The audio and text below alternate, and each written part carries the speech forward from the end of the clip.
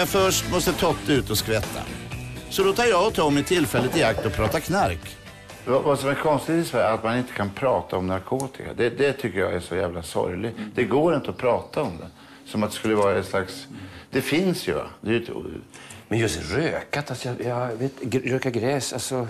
Ja, men alltså jag kan ju inte låta bli, jag tycker att det är trevligt att röka gräs.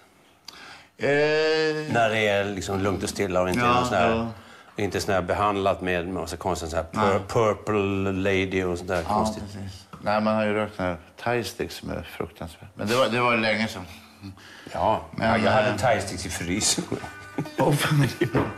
Man ska, man ska, man ska ha dem i frysen. va, för